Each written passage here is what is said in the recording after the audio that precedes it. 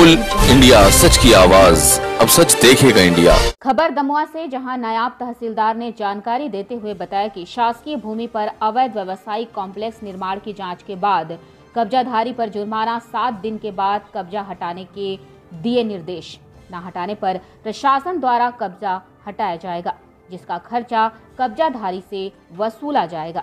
दमुआ निवासी संजय मिगलानी, खसरा नंबर 315 रकबा सात आठ सौ तिरासी हेक्टेयर के शून्य दशमलव शून्य शून्य छह अतिक्रमण कर पक्की दुकानें बना रहा था।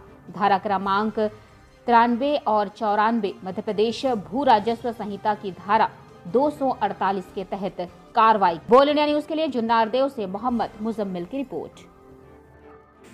संजय मिलानी केस में मेरे पटवारी के द्वारा जो अन्य क्रांति प्रतिवेदन प्रस्तुत किया था, उसमें 720 स्क्वायर फीट पर दुकान बनी, बनाकर अतिक्रमण करना पाया गया था, जिसको न्यायालयीन प्रक्रिया में लेकर विधिवत अनाविदक संजय मिगलानी का जवाब लिया गया साक्ष्य दिए गए और उसका प्रतिपरीक्षण किया गया, हल्का पटवारी का भी प्रतिपरीक्षण किया गया।